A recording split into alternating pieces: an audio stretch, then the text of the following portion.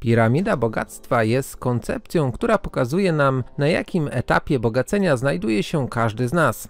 Na jakim etapie znajdujesz się aktualnie, co trzeba zrobić, aby wspiąć się na wyższy poziom, a czego należy unikać, aby nie znaleźć się na samym jej dnie? Wszystko to i wiele, wiele więcej w dzisiejszym odcinku. Z tej strony Tomek z kanału Sprytny Pieniądz. Witam Was bardzo, bardzo serdecznie i już teraz zapraszam Was do subskrypcji kanału, jak również zapisania się na mój newsletter, dzięki czemu nie ominie Was żaden nowy materiał, a do tego zgarniecie ekstra bonusy. Link do zapisu znajdziecie pod tym wideo.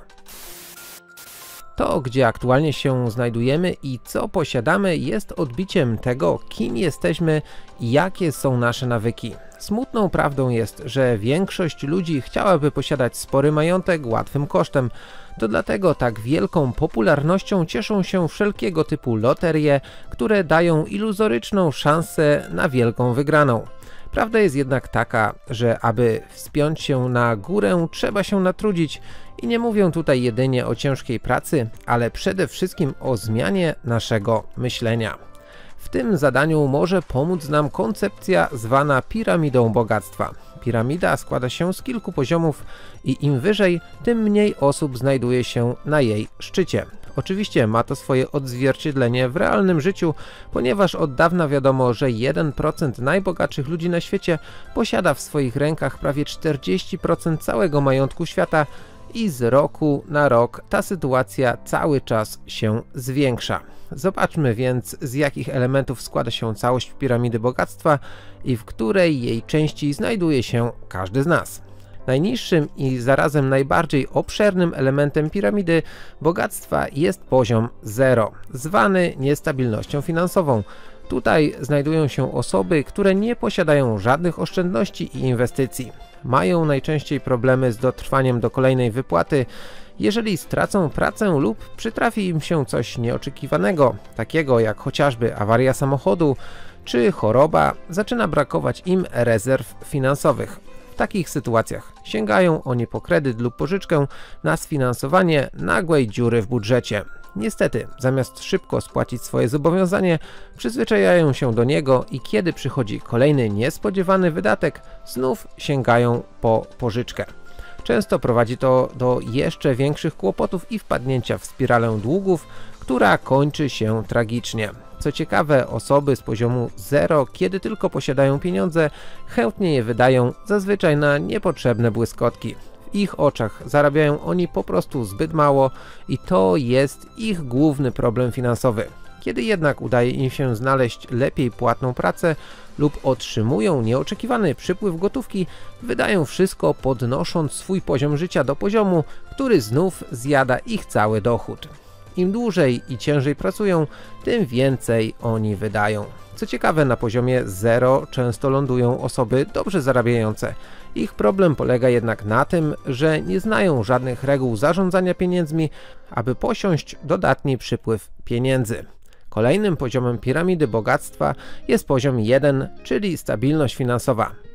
W tej kategorii znajdziemy ludzi, którzy posiadają oszczędności, które są dla nich poduszką bezpieczeństwa na wypadek nieprzewidzianych wydarzeń na co najmniej 3 do 6 miesięcy. Na tym poziomie znajdują się osoby, które mają spokojną głowę w razie nieoczekiwanych przeciwności losu.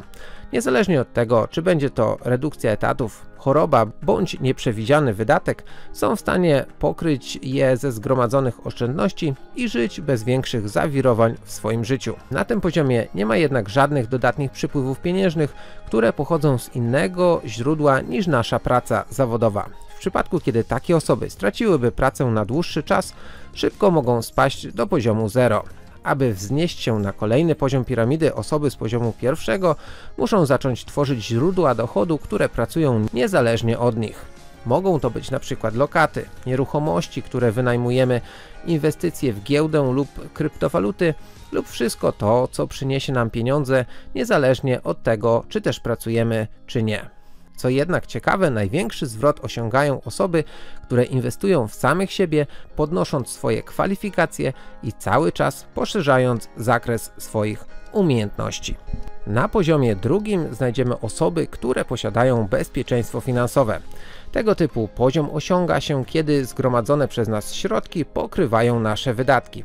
Oznacza to, że osoby z tego poziomu mogą przestać pracować, a i tak będą one nadal mogły skromnie żyć z zysków, jakie dostarczają im ich aktywa.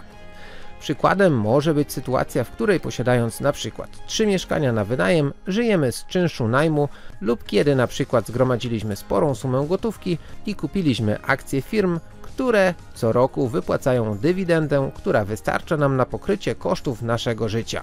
Kolejnym poziomem piramidy bogactwa jest numer 3, czyli niezależność finansowa. Na tym poziomie znajdują się osoby, które zgromadziły środki, które to pozwalają im prowadzić porządny styl życia i pokryć wszystkie wydatki bez konieczności dalszej pracy. Osoby z tego poziomu mają wybór, mogą, ale nie muszą już pracować. Jest to ich indywidualny wybór, ponieważ osiągnęły niezależność finansową. Dla większości z ludzi poziom 3 jest szczytem marzeń i końcem ich własnej piramidy bogactwa.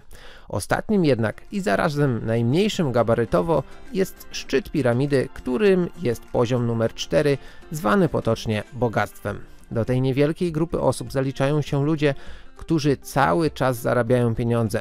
Ich zasoby są na tyle rozwinięte, że nie istnieje dla nich coś takiego jak presja pieniądza, a po odjęciu wszelkich kosztów ich życia, które jest wygodne i przyjemne, wciąż mają na tyle wielkie nadwyżki finansowe, że ich podstawowe zasoby stale rosną.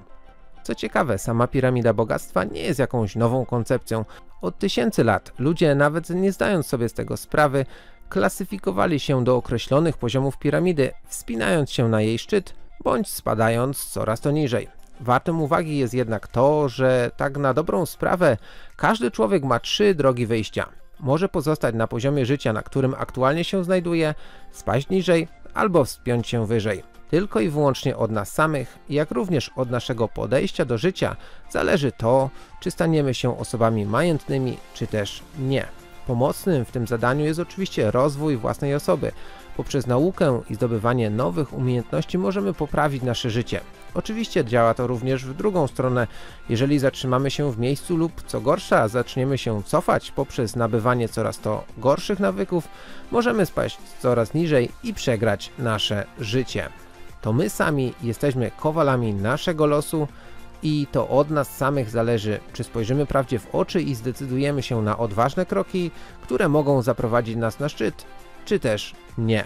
To już wszystko na dziś. Mam nadzieję, że koncepcja piramidy bogactwa przypadła Wam do gustu i dała Wam wartość. Jeżeli tak się stało, zapraszam Was serdecznie do pozostawienia komentarza z numerkiem poziomu piramidy, na który chcielibyście się wspiąć.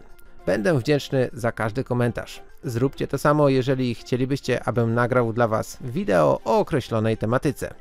Dzięki wielkie za uwagę i do zobaczenia wkrótce.